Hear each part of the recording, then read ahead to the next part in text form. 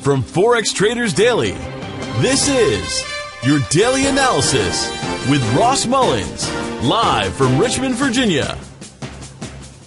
Hello, everyone. This is today's video analysis for April 10, 2017. I hope you had a great weekend and are ready to get started trading this week. In today's video, I'm going to do a general overview of each of the U.S. currency pairs in anticipation of this week's trading.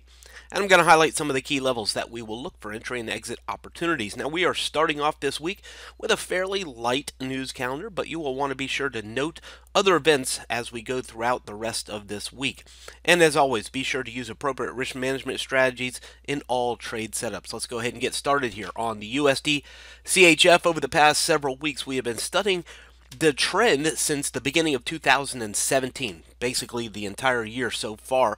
We see the black trend line as much of January, the red trend line as much of February, the blue trend line most of March encompassed within that downtrend, and now much of April already, seeing the similar pattern, and we return to an uptrend. So we've seen this pattern play out throughout the first part of the year. The question is, will that continue continue to play out? If it does, then we're looking for a continuation higher for much of the rest of this month, which is April. We are just now testing back above the 100 period simple moving average, which we haven't been above in quite a long time. Let's go ahead and zoom it in one time, take a look the moving average coming here and today we are just above that moving average. So the question is if it stays above it do we look for the continuation uh, higher? Will today stay above it? Will today get back below it? Those are all questions we won't know until the end of the day today.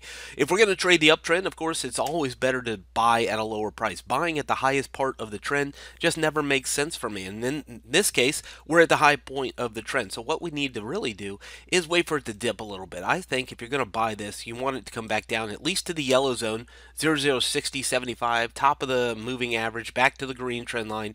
If you look back here where the circle is, you can see some support at that yellow zone before, or even just before that, where the market broke above the yellow zone, sat down on top of it one, two, three, four, five days within the midst of that red trend line, and then made the new high. So what we're looking for is this yellow zone to become our support to give us an opportunity to dive in with low risk, high reward, targeting back to the green zone or maybe even the orange zone at the top of the chart. Now, if it breaks that orange zone and those last significant highs, I think we could be looking for a much more significant high all the way up into the 1.02s or even the 03. So keep an eye on that breakout if it gets above the 014560 level over the next coming days. Moving over to the euro dollar, similar situation, just the exact opposite. You see the same trend lines January, February, March, and April in the trend line. So, again, very similar. The question is will that continue? Will that turn around and go back in the other direction? We won't know for quite some time, but definitely something to watch. Look at the black box here, the intersection of the red and the blue trend line at the bottom we're in a really significant area of congestion. We've been here before. The question is, will it break it and go lower all the way back down into the 1.03s, or are we going to find some support and turn back higher? Well, at the current moment, zooming it in here on the daily, we're at support. We don't want to go short at the low. Remember, buy low, sell high. You don't want to sell something at the lowest point. You want to sell it at a higher point. So in this case, that would be a recoil back to or return back to uh, 1.0605, 1.0620. That's the bottom of the pink shaded area. We've seen resistance here before at the pink zone. Look back here at the red trend line, resistance here. That would also, once again, be underneath the 100 period moving average if it makes it back into the low 600s. So that becomes the place to sell, not at the very bottom of the trend. So if we're going to buy it and it, or sorry, sell it and it doesn't get back to the pink zone, we need it to break the yellow zone to go lower down to the purple shaded area, which it hasn't done.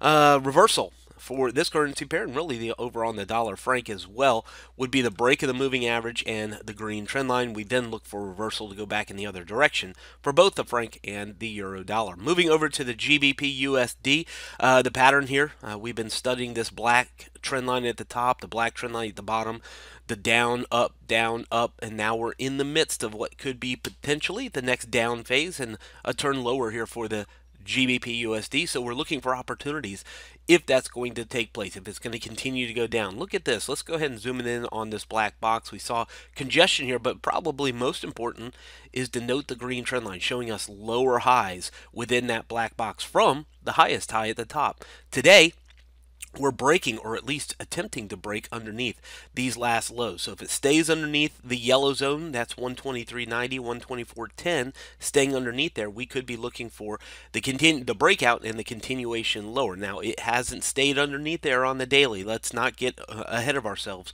We are still within that yellow zone and could see some reversal even back to the orange shaded area and the green trend line. So I'd love to see an open and close. Even today, closing back underneath the yellow zone will increase my confidence that it's going to go down towards the green zone. So that's what we need to see. We need to see today close under the yellow zone. Under 24 would be great.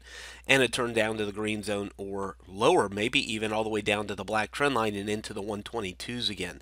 We've seen resistance here. Look at the blue circle. Resistance at the yellow zone before. Underneath, by the way, the 100 period simple moving average right around the 124.15 or so level. So we need to stay under the moving average, under the yellow zone by the end of the day today increases our confidence in the next fall down. If it doesn't do that, then we could be looking for a pullback up to the mid to upper 124s for the GBP USD.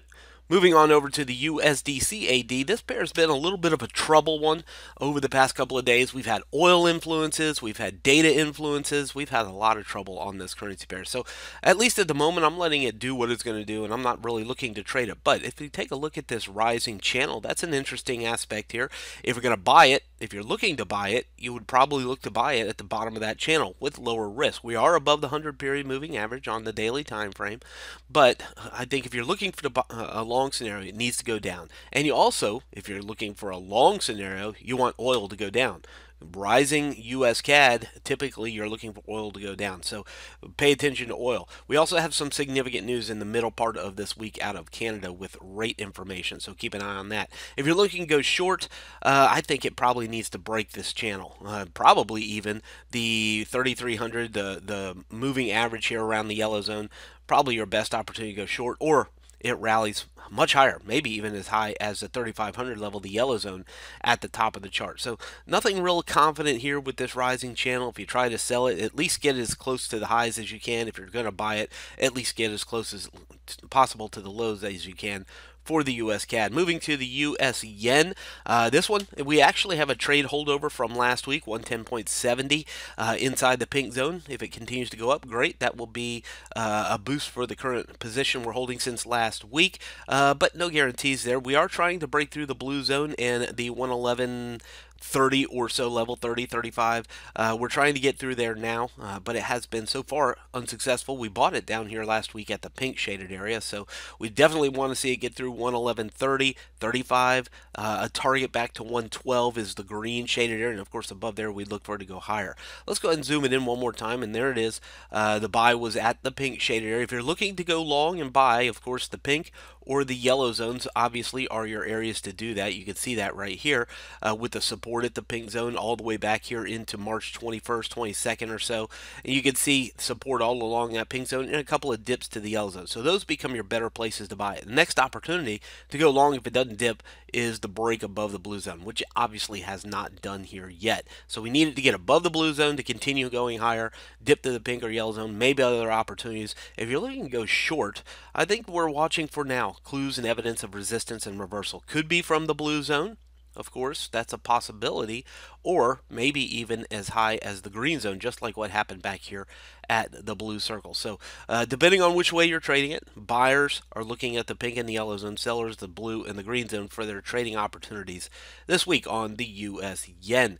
Moving over to the AUD USD, we also have another trade down here that we're holding over from last week. Significant profit right now, 92 pips of profit on there. I have one minimal lot left on there, but I think it's very interesting. I think we could see continuation uh, lower here for this pair. The black trend line's the direction it's been going in. Take a look at the blue circle right here in the middle of the chart. The green zone, blue circle, 100 period moving average, right around 7,500. Why is that so important? We're underneath that today, under the moving average, under 7,500, under the green zone. I think if you're going to trade it, you're not looking to buy underneath there. This would be a terrible place to buy it. Uh, as long as it's underneath that resistance. It would likely need to break back above there. Let me zoom this in a little bit. So we're under the black trend line, under the moving average, under the green zone, which was that last support. So not a great place to buy it. The only reason to buy this is if we suddenly see reversal and it gets above all of those. So back above the moving average, back above the green zone support that you see over here on the left, back above the black trend line. So don't buy it underneath here. Uh, but I could think there could be some opportunities to go short as long as it stays underneath there. I'd like to see today's candle close underneath there. That would be a boost. If we even take it down to the four hour time frame, we've already seen it actually open and close uh, on the four hour. So again, if you're going to trade it, I think uh, selling or going short, you're under the green zone. You want to get as close as possible, 75, maybe even 75, 10, giving you a better, lower risk, higher reward opportunity to go short again. If you're looking to go long, this is not the time to do it. It has to give you evidence of reversal, probably back above the green zone, before you would go long on the Australian dollar. Moving over to the NZD it's a very similar situation to the uh, Australian dollar, except for the fact that the moving average is nowhere near the current market. But we've been selling this currency pair for days and weeks now, uh, three weeks at least, we've been selling this currency pair. It's been a very profitable pair. Uh, we're out of all the open positions that we were in in the previous couple of weeks, but I've already today, this is fresh today, jumped in at 69.40. I put a pending order right underneath the yellow zone. Let's zoom it in. So we see it open under the yellow zone, rally back into 69.40, 69.50, the yellow zone. Look at back here. Uh, let me just take this blue box, put it down here at the bottom, right here with the blue box, left-hand side, red trend line. We can see a lot of resistance at the yellow zone. One, two, three days found resistance at the yellow zone, went back to the green zone before breaking out and going back higher. So we're in a downtrend. That's the direction I want to focus in on still. Underneath the yellow zone, we look for the market to continue down where? To the green zone. That's not too hard to see. You look back here to the left. And if it can break the green zone, we could be even looking for much further back down into the 6800. So we definitely want to see that. And this fairly minimal risk. Take it down to the four hour time frame. I mean, your risk is pretty small. If you sell underneath the yellow zone, which is that last support, by the way, and it breaks above the yellow zone, that's the risk on the trade. So your stop loss is not too high uh, above there because you know that if it gets above there, probably going all the way back at least to the pink shade here. Minimal risk, uh, potential uh, target down here towards 69 or even into the 68s for the New Zealand dollar today. From Forex Traders Daily, this has been your daily analysis with Ross Mullins. If you would like to get Ross's analysis on all the currency pairs he's watching and all the trades he takes today, join him in his live trade room by clicking on the link below. Please leave any comments you have about today's video in the comments section below.